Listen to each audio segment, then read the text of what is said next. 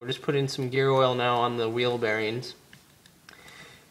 Set them in here and drive them in.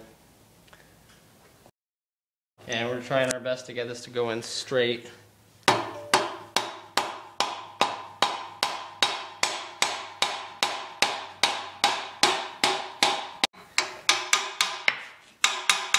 So we got this all the way in. We have a smaller one. We're making sure not to touch the actual bearings, but the, the outer housing, and making sure we're not gouging the housing here. So just putting a light coat of the Permatex on the outside of the seal, just so that it uh, seals up real nice for us. And then uh, we'll smear some in here as well when we um, finally install it. But we just want to, we don't want to glob it up too bad to where, you know, we're getting it in our wheel bearing or anything. But just, uh, it's just going to help it seal a bit better. Driving this in as straight as we possibly can. Just uh, want to make sure we don't get any debris in that oil bearing, so we'll probably just cover this with a bit of a rag and get it good and flush. So now we're just putting a little bit more of this Permatex right here where it would leak out if we did have a problem this should help keep everything nice and dry. Okay, so here's our 31 spline Moser axle. And we're just gonna slide it right through here, through the bearing, and then into the housing. This has been cleaned as well, and we're careful not to put too much pressure on the bearings or anything as we're sliding it through. And then as it gets close, it's gonna slide into the traction lock just how we pulled it out. And you just want to make sure that the splines are all correct. Just gotta feel it, there it goes. There we go.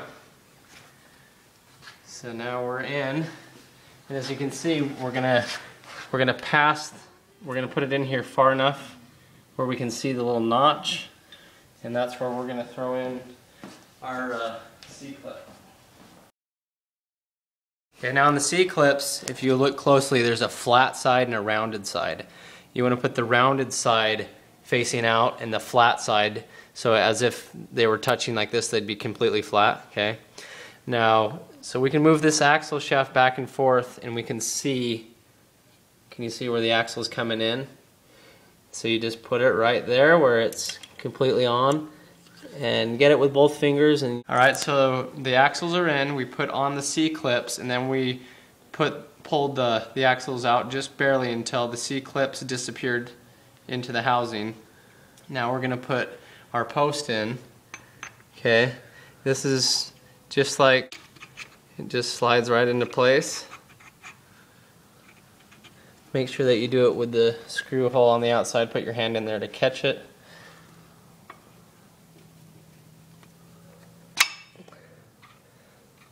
Okay, so we're going to line that up. to start to put our screw in. And there we go, it's in place. Now we're just going to tighten this down.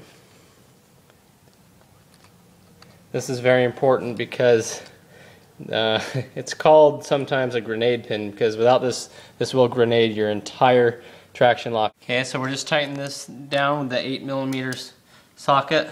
Just getting it good, nice and snug. There was a little bit of Loctite on here because it was a new bolt. So I'd recommend if it uh, if you have if it's a used one to put some Loctite on there so that this doesn't come out. But just get it good and snug, and that'll keep this uh, pin in here, and hopefully everything's ready to go now. All right, we're just adding some royal purple in here right now, kind of testing our. Uh, Good old pinion seal too, I guess you could say at the same time. It looks like we're good.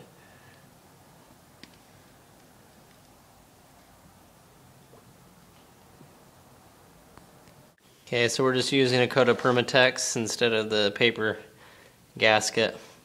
We're just kind of going around in a circle here and making sure that it's, we're going to do one bead so that the actual cover smashes it nice and flat for us. And we're going to go on thick.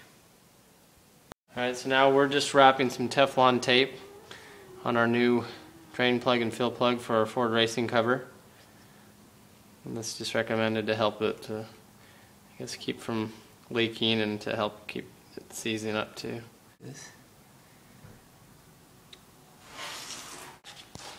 Alright, we're just setting this cover down now.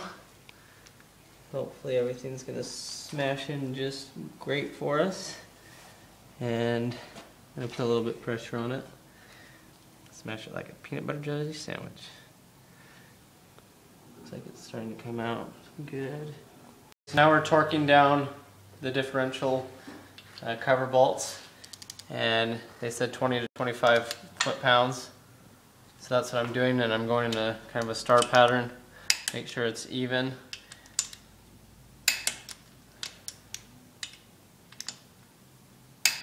And something very important to remember if you have this kind of a girdle on your rear end, these are the load bolts. What these will do is you will tighten them down until they barely touch those main cap, uh, the bearing caps. You do not want to put too much pressure on these. It can cause damage to it. So you want to just tighten these down until they barely touch, then torque them to 5 foot-pounds. Okay, so I'm, I'm tightening these bolts down. Okay, I'm going to torque them to 5 foot-pounds. Okay, that's not very much because you don't want to put too much pressure. Remember that these now have all the pressure of these bolts are helping push on those main caps. I'm going to do them evenly.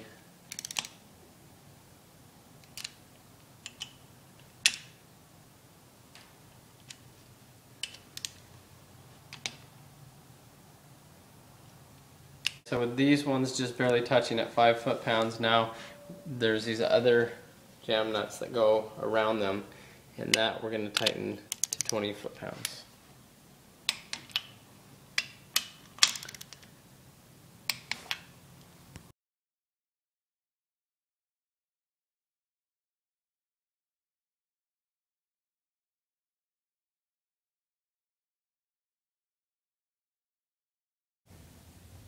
Okay, as you can see I have the car on the ground and I'm just uh, topping off the fluid level here in the differential.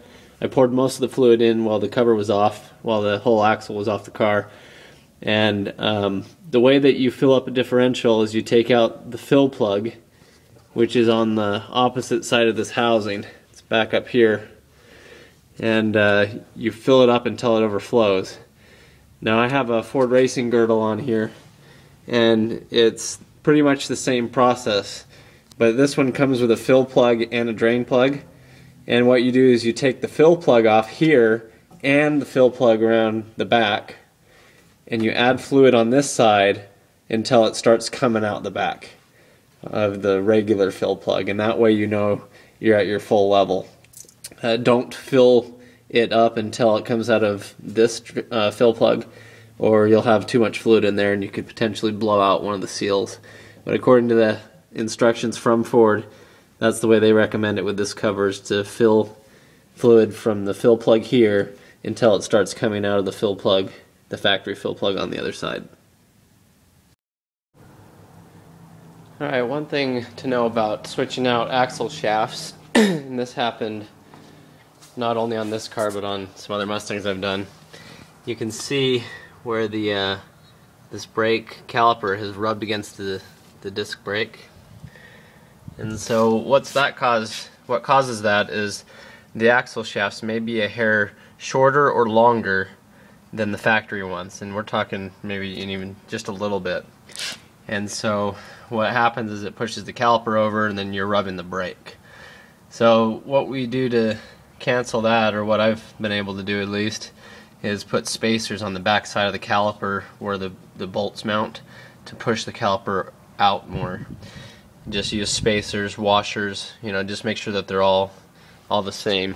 I'll show you what I did.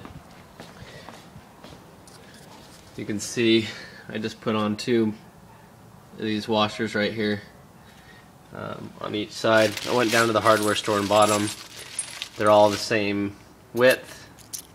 just stack them until you know the problem goes away. And this was like 80 cents for 12 of them, so it's a relatively cheap fix. But um, on this side, it doesn't look like it happened quite as bad, but the other side was completely rashed. And it can happen on the inside or, you know, inside or the outside. So you got, if you hear some some rubbing, take a look, because on my brother's Mustang Bullitt, it had the the shafts were a little bit, uh, I guess they were shorter, so it was scraping on the inside, and it was kind of hard to tell what was going on until we looked behind there.